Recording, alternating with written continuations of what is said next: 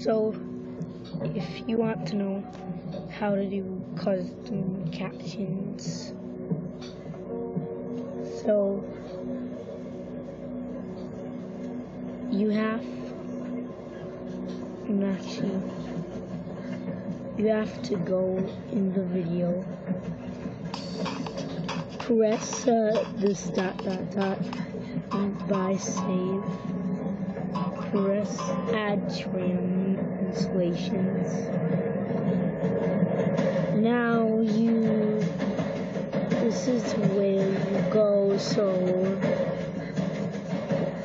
there's not any My brother has declared himself the and then It's no longer thou, Abraham, the brother create in you. new subtitles.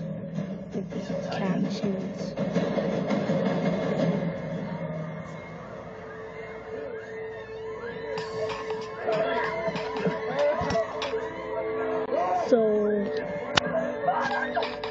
you can type something You want me here. to join him in waking now now him? No. like. Do that. Do do that.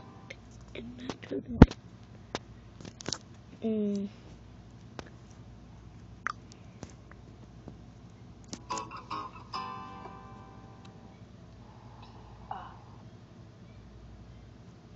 Okay, so there you go.